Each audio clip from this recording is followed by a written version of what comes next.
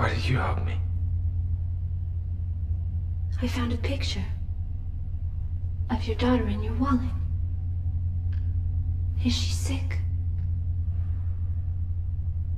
Is that why you are sad? You made those connections. I built them from moments. Things you've said and done. I feel them. The feelings help me build a picture.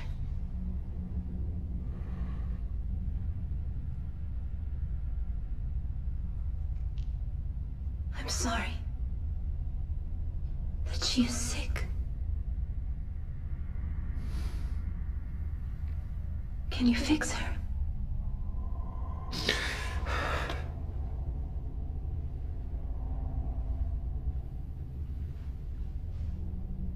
What are you really?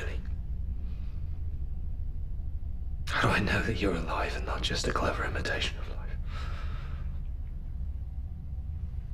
How do you know if Thompson is alive? Or your daughter? What makes my clever imitation of life any different from theirs? They're human. They are alive. But how do you know that? You can't see their thoughts.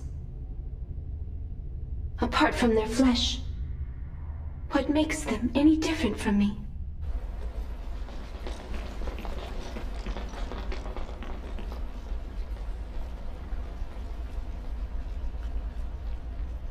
You okay in there, sir?